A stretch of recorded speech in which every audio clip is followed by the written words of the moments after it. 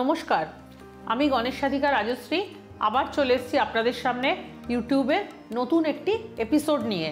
চলুন শুরু করা যাক আজকের অনুষ্ঠান।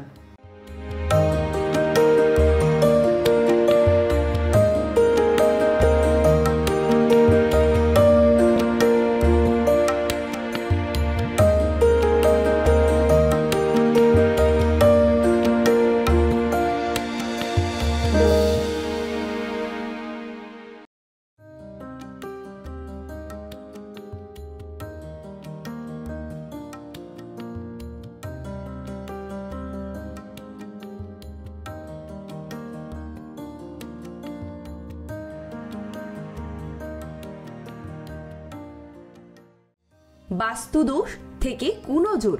সব সমস্যার সমাধান করবে গঙ্গা জল কীভাবে? জেনে নিন।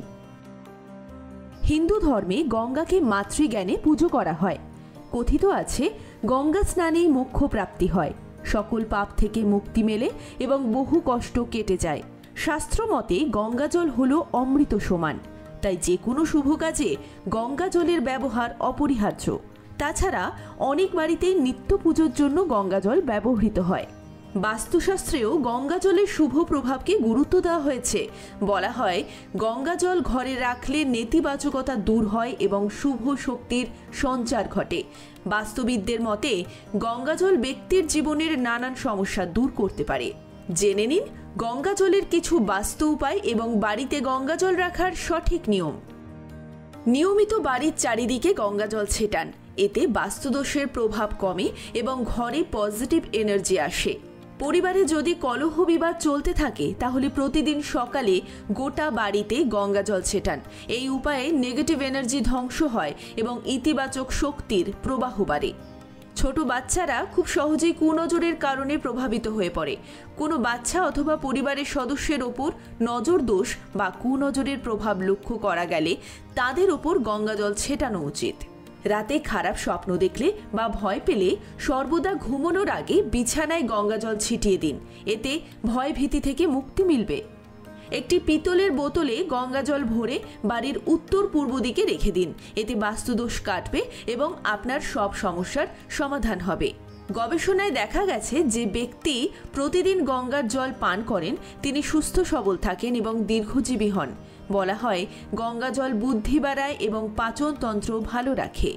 সোমবার শিব পুজোর সময় গঙ্গা জল দিয়ে শিবলিঙ্গের অভিষেক করুন। এতে ভোলেনাথ তুষ্ট হন এবং রোগ ব্যাধি থেকে মুক্তি মেলে। গঙ্গা জল কখনোই প্লাস্টিকের বোতলে রাখবেন না। পূজার কাজে প্লাস্টিকের ব্যবহার অপবিত্র বলে বিবেচিত হয়।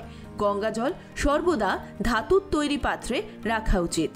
গঙ্গা জল সবসময় বাড়ির উত্তর পূর্ব কোণে বা ঈশান কোণে রাখা উচিত। পরিষ্কার পরিচ্ছন্ন স্থানে গঙ্গা জল রাখুন। ঠাকুর ঘরে গঙ্গা জল রাখা সবচেয়ে শ্রেয় এবং সেই স্থান সর্বদা পরিচ্ছন্ন রাখা উচিত। অপরিচ্ছন্ন হাতে কখনো গঙ্গা জল ছোবেন না। সবসময় হাত ধুয়ে গঙ্গা জল স্পর্শ করুন। অন্ধকার স্থানে গঙ্গা জল রাখতে নেই। যেখানে গঙ্গা জল রাখবেন, রাতের বেলায় সেখানে আলো জ্বালিয়ে রাখুন। আলমারিতে বন্ধ করেও কখনো গঙ্গা জল রাখবেন না। আমিষ খেয়ে অথবা মদ্যপান করে গঙ্গা জল স্পর্শ করবেন না। যে ঘরে বসে আমিষ খাবার খান, সেখানে গঙ্গা জল রাখবেন না। কেমন লাগল আজকের এপিসোড যদি ভালো লেগে থাকে, আমার ইউটিউব পেজ গণেশ সাধিকা রাজশ্রীকে সাবস্ক্রাইব করুন, বেল আইকনটি প্রেস করে রাখুন, নিত্য নতুন অনুষ্ঠানের নোটিফিকেশান সবার আগে পাওয়ার জন্য। ভালো লাগলে অনুষ্ঠানটি চেনা পরিচিত বন্ধুবান্ধবের মধ্যে শেয়ার করুন। ভালো থাকুন, সবাইকে ভালো রাখুন। নমস্কার।